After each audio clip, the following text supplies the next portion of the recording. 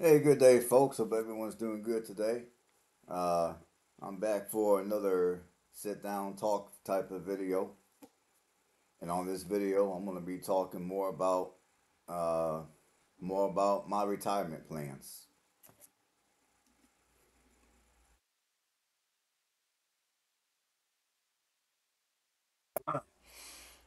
Uh, now, as far as what my retirement plans are, I'm gonna be honest with you, people. I don't really have any plans to retire, so to speak. Now, what the heck does that mean? Does it mean I'm, I'm gonna work myself into the ground?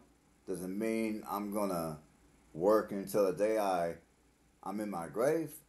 Eh, no. Here's what I mean by retirement.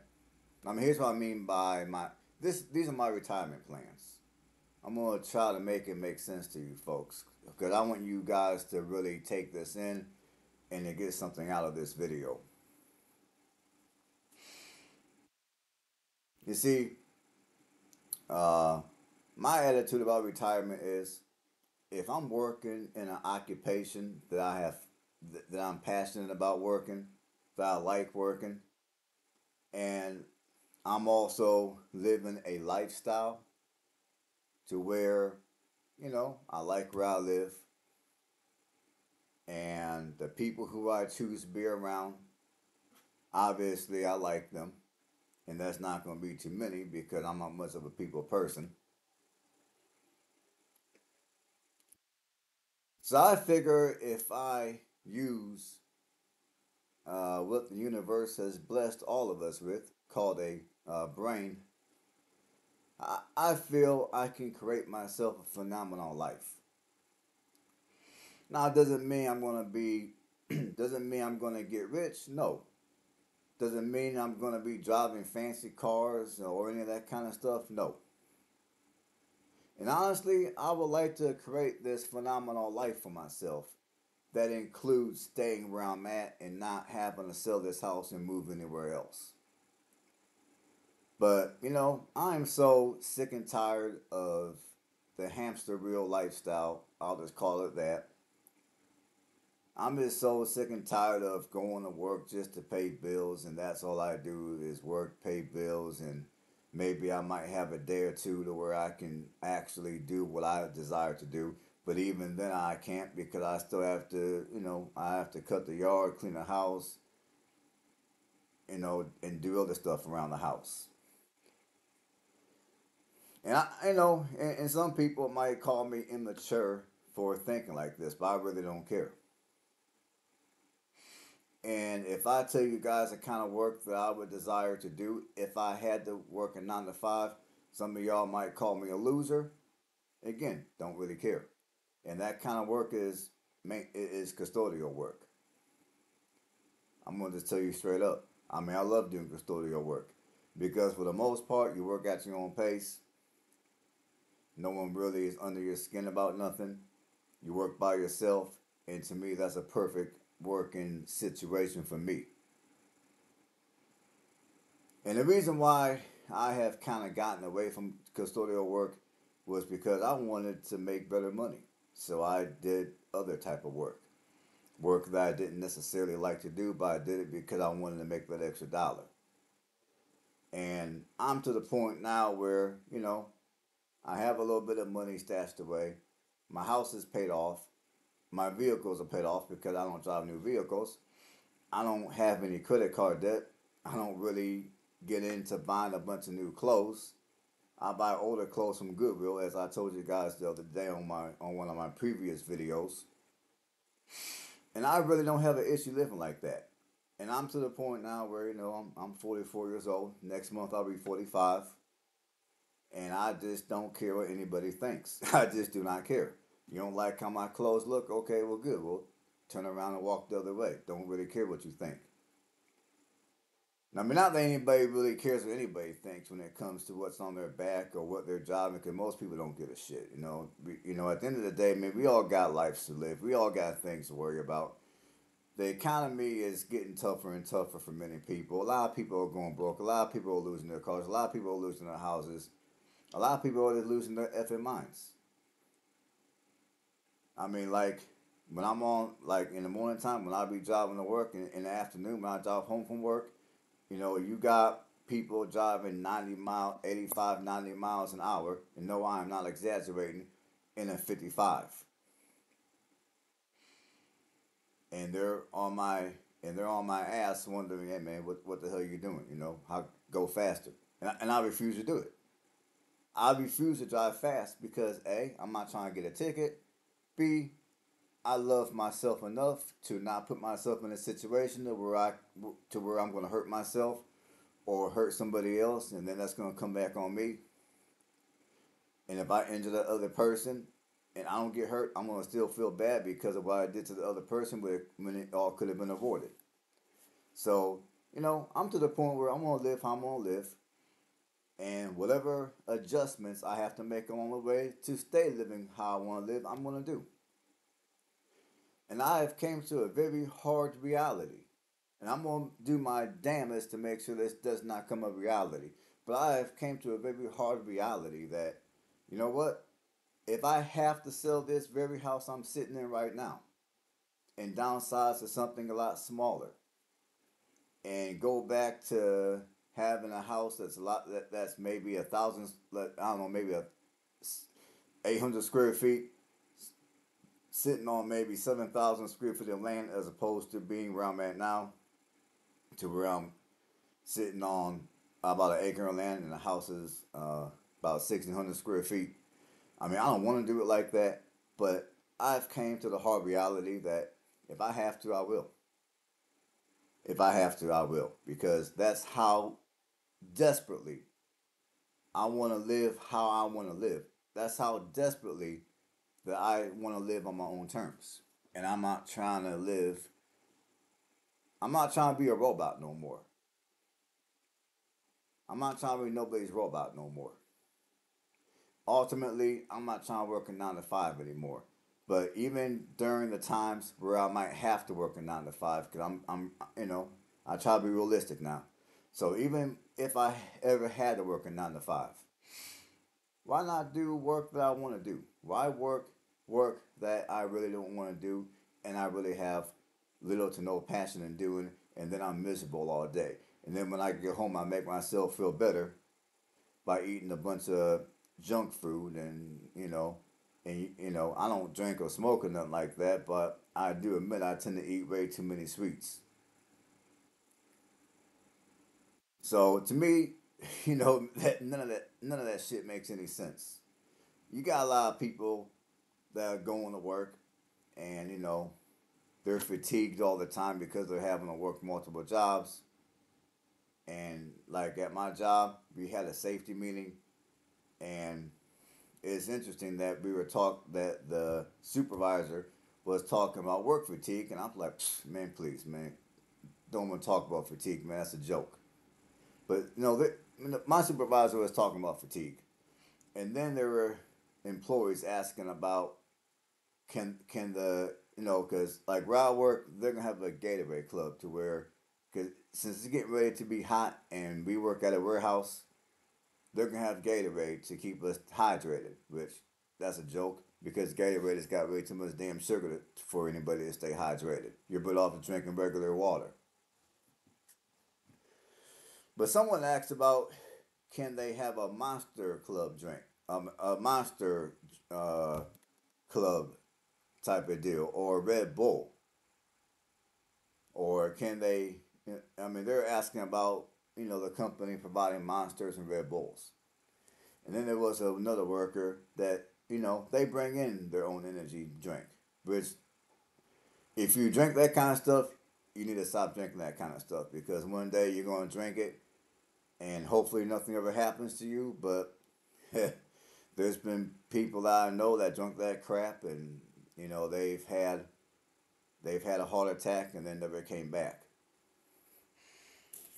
Uh, I mean, there's a let's see. So let's see what else. So yeah, I, I don't I don't do the energy drinks. My attitude is between getting at least seven hours of rest every night waking up, drinking just regular old coffee with a little bit of cream and sugar in it, and eating a somewhat of a balanced diet and staying hydrated throughout the day, if that's not enough for me to stay energized, then I need to do one of two things. A, I should probably go to I should probably go see a doctor and see what the hell is going on and see what nutrients I'm missing.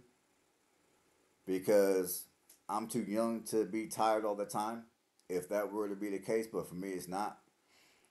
Two, yeah, maybe I might want to look at my workload and change that up a little bit. But under no circumstances am I going to put all that poison in my body just so I stay energized to work a job that I don't like. No, no, thank you. You got me, man. You got me messed up on that one all day. So anyhow, you know, when it comes to retirement, my attitude is I'm gonna just I'm gonna you know rather than focus rather than working a job I don't like because it pays X amount of money and then focusing on retirement.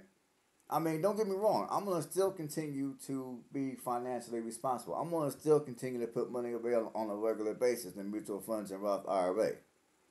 I'm gonna still continue to do to do that. I've been doing that for the last uh, several years. I'm gonna still continue to to, to do that. And honestly, when it comes to my housing expense, exp- I mean, when it comes to my overall housing expenses here, I feel where I'm living is about, I, I feel my housing setup rather is about as low as it's going to get. The only thing that I can think that would be cheaper for me is to maybe buy a smaller house. Utilities might be a little lower.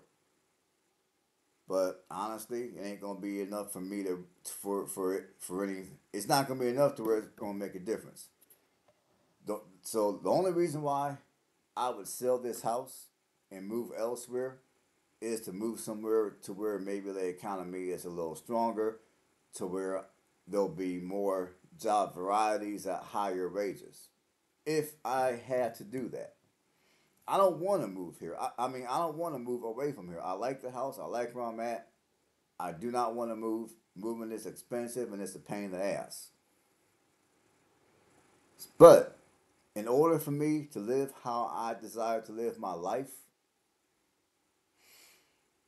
if I had to make a sacrifice, the sacrifice that I would make would be to sell this house and move somewhere else to where you know and have you know have a smaller house and all that kind of stuff. And again, I don't want to, but I'm so fed up with myself for for not thinking about all this when I was younger in terms of creating a life that I desire to live rather than just simply working and uh, know, one day when I turn 60, whatever, whatever, I, I can retire and enjoy life then. No, I'm going to enjoy life today when I'm 44. I'm not into I'm sexy, whatever. I'm enjoying my life today. So, uh, let's see what else. So yeah, that's just what I think. And part of the reason why I think the way I think, and as I get older, this thought process is uh, what's the word? As I get older, this thought process is I mean, I'm just, I mean, as I get older, I'm willing to do more and more to live how I want to live, if that makes any sense. I don't have the proper wording right now. My apologies. Because, like, I have, uh, you know, now I grew up in a family of four. We were all adopted.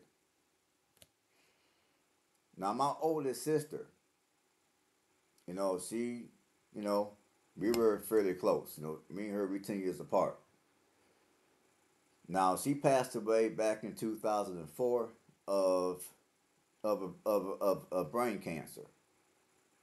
She she passed away at thirty six years of age. Thirty six years. That's all she got to live on this earth was thirty six years. Now during her short life, I mean, she had a job working for the city of Cleveland as a Cleveland dispatcher and she hated her job. She despised her job. She only kept her job because the money was good and the benefits were good. But other than that, she hated her job, and she will, and she regularly would come home crying about how she hated her job. And some of us were thinking, okay, well, maybe her tumor developed, I mean, her cancer grew because, I mean, now granted, her diet wasn't the greatest, but typically, when you're when you're under stress all the time, your the, the chemistry of your body changes and not for the and not for the best. So me and my mom were thinking, you know, maybe the reason why she developed her brain cancer was because of the fact that she was always stressed out because she hated her job. And of course, she had a, a spending issue. She was always in debt. But she loved to travel. In fact, this this woman done traveled all over the world. She done been to different uh, countries in the continent of Africa. She done been all over the United States, all over Canada, all over all over Central and South America.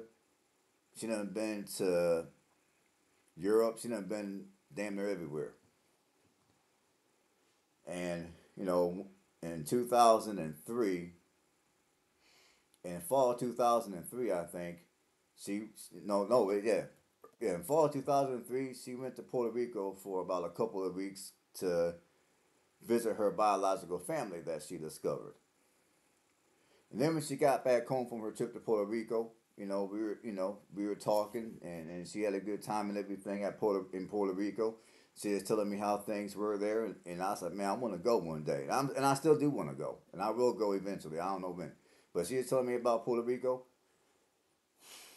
And then it's like maybe one o'clock in the morning, and finally, you know, she fell asleep, and I went upstairs to my apartment and went to bed because at the time we were living in a duplex. She lived downstairs. I lived upstairs. And uh, the next morning, uh, I woke up. You know, I woke up and uh, just started doing what I do in the morning time. I woke up and ate breakfast, watched a little television, and then my sis, you know, then my sister called me and, you know, she told me she felt sick. So I'm thinking, okay, well, she's feeling sick. Why is she telling me? Ain't nothing I can do. I ain't no doctor. So I'm thinking, okay, well, what's going on? And then she said, well, can you take me to the hospital? I said, okay.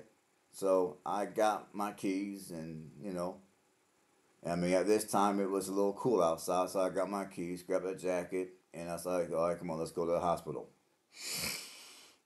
So I looked at her and I it's like, man, okay, you're, you're not you're not looking too good. So okay, anyhow, I took her to the hospital, and then I went back home and finished my morning, and then in the afternoon I left to go to work.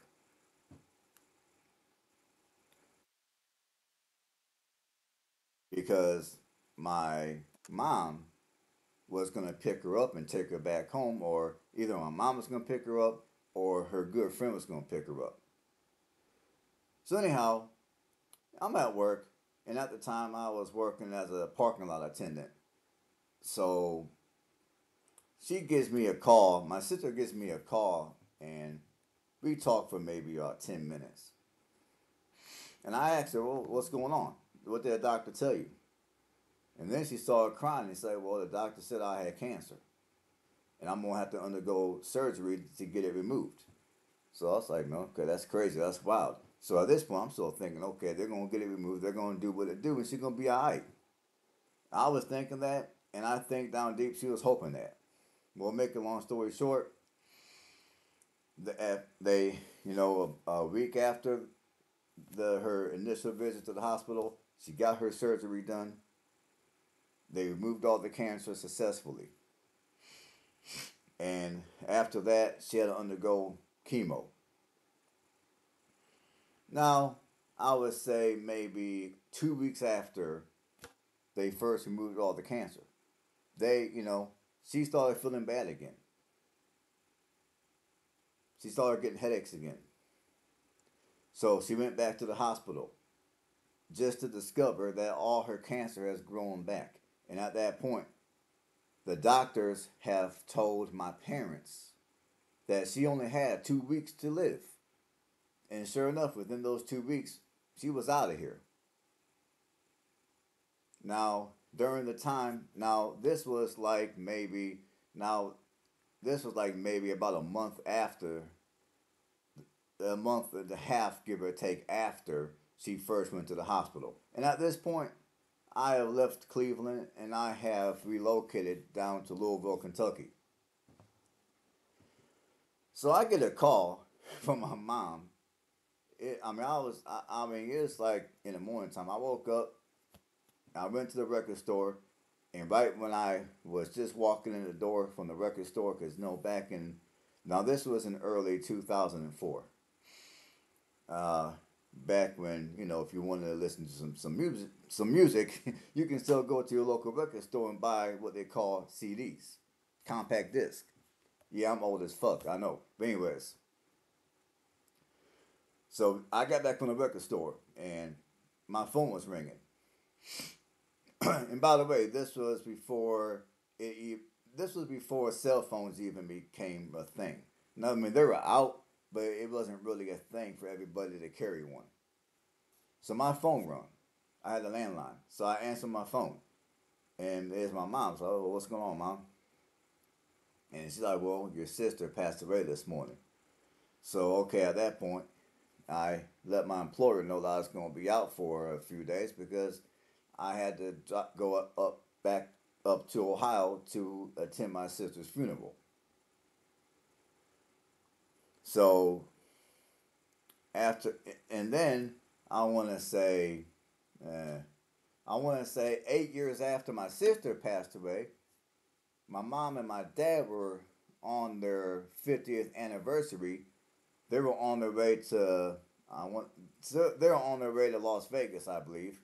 But in New Mexico, my mom had a, a heart attack on the train ride so they had to take her to the hospital in, in Albuquerque, and she passed away at the Albuquerque.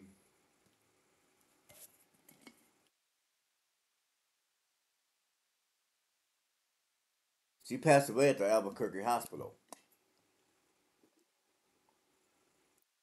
Uh, and I was, and, and at first I thought, okay, I was gonna fly down there, get to say my last words or whatever, but nah. By the time I got down there, uh, she was already gone. I mean, my, I was there, my dad's there, my brother was there. So my mom at that point was already gone. And from 2000 and, uh, and was it? From 2012 all the way to 2020, the year my dad then passed away. No, it was 2021, the year my dad then passed away. So my mom, she passed away at 73, my dad at 84. See, now, before my mom got, before my mom passed away, remind you.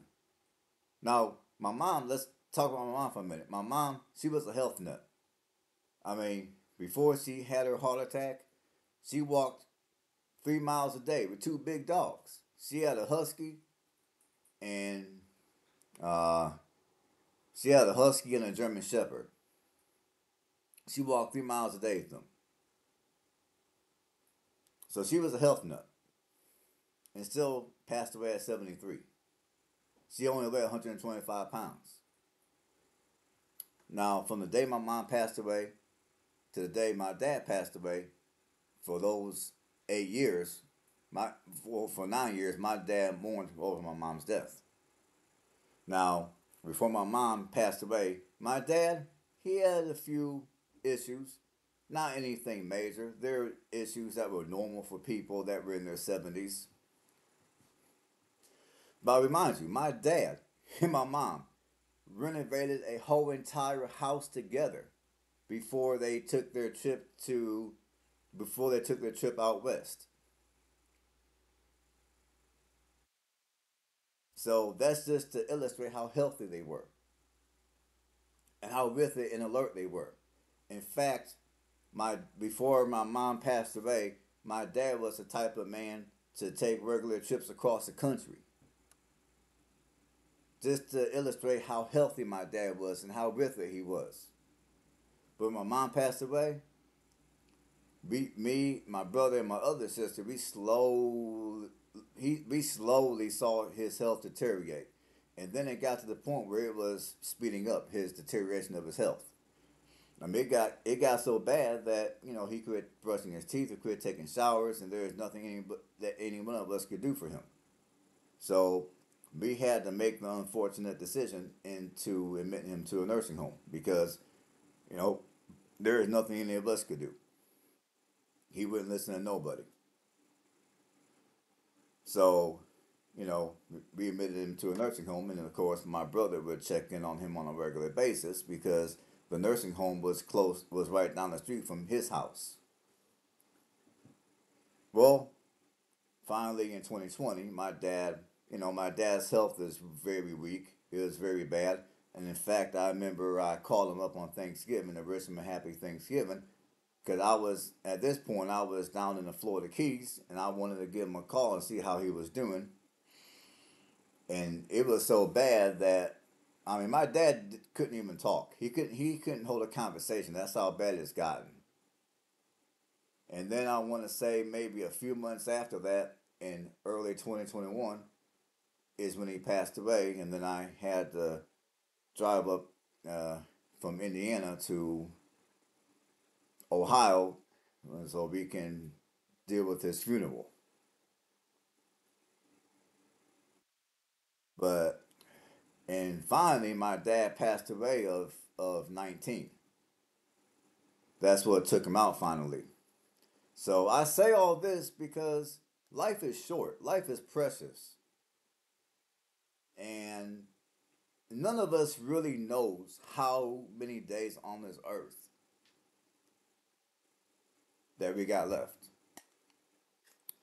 I'm hoping that the good old universe blesses me with a very long life to where I can be like one of these people that live to be in the hundreds and still healthy, still kicking, still going. I mean, my foster mother, she's 91. No, yeah, she's 90, yeah. Yeah, she's 90, hold on, she's like 92, I'm sorry, she's 92. She still drives, she's still alert, she still walks around, and she's still very sharp. And I'm hoping that the universe will bless me like that. But my point of this video is I'm not gonna I'm not gonna waste any more of my time planning for a so-called retirement. I'm gonna start today right now planning my entire life to where my entire life will be a vacation.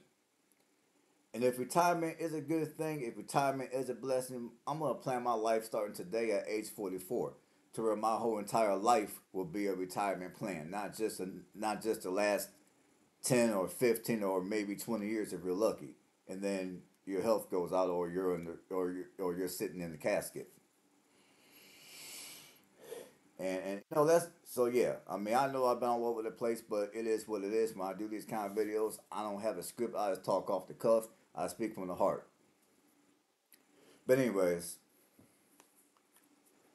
after I've seen people in my family pass away like that, I'm sorry. I just cannot accept continuing to work and plan for a so called retirement. I cannot accept to live my life for my employer. I'm going to live my life how I live my life, and whoever I choose to have, if I have to work a nine to five, I'm going to choose an employer to where I can still live on my terms, so to speak. So this ain't one of those. I'm not one of these kind of people that I want to check out society. Money's nothing to me. No, I'm, I'm, I'm. You know, I'm a lot more of a realist than that. However, it doesn't mean that I have to be a robot. It doesn't mean that I have to work my life away, and then one day when I get to enjoy my life, I'm old and I can't do shit for myself. No, thank you.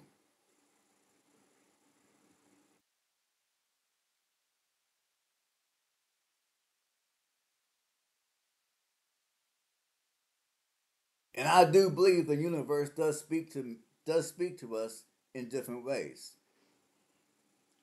I do believe that. I, I really do believe that. Sometimes we have to accept. Sometimes we have to listen. If we want to live a better life, sometimes we need to listen to what the universe tells us. And I do believe that. And that's why, even though I don't want to, and I'm gonna do everything in my, I'm gonna do everything humanly possible to prevent this from having to happen. But I am prepared to sell this house and to move elsewhere if I have to in order to live how I want to live my life. Because, you know, to me, this house, it's a house, it's a home. Yes, I love it. I appreciate it. But but at the end of the day, I'm not gonna allow it to cripple my ability to live how I want to live and to be and, and therefore be healthy. And I don't think I'm gonna have to sell this house. I think I'll be able to get out here and do good things and, and make the money I need to make and everything gonna be good. But I'm just saying, just in case, in the back of my mind, just in case I'm prepared to do what I do. And there's more I could probably say if I sit around and I think hard enough, but you know what? This video is already over 31 minutes. So hopefully you guys enjoy it. You got something out of it. Feel free to drop comments in the comment section. If you haven't subscribed to the channel, go ahead and do so. And if you want to support me, you can just give videos like this a thumbs up. Stay blessed. Catch you guys on the next one.